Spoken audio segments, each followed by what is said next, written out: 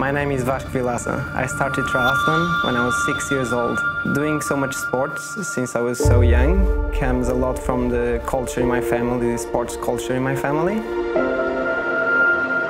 Triathlon is a sport, but it was a way of living, it was our way of life.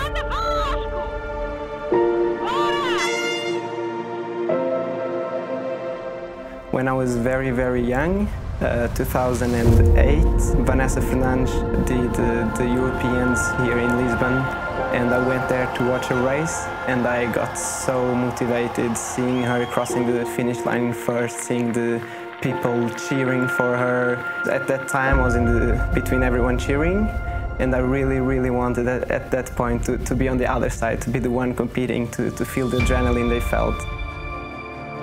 I would say that was the first moment I really felt that's what I want to do. I want to be the one on the other side.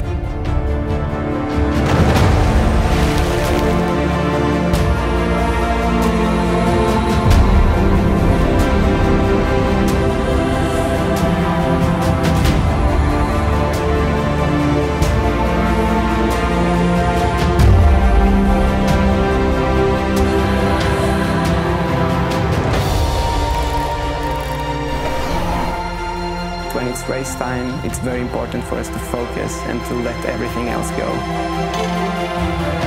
Vanessa has ahead of.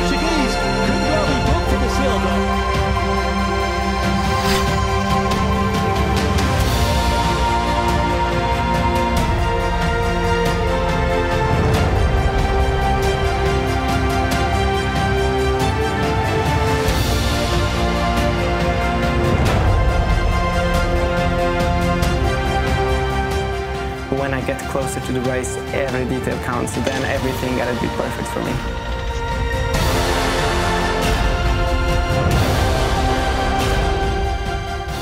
It's a lot about just the mental strength, who is willing to go over the edge, because those are really painful moments when your body is just giving totally, totally everything it has uh, to get over the line, just throw yourself down and feel your body cramping. Who is willing to go uh, most further in that in that pain, in the in the in that pain zone?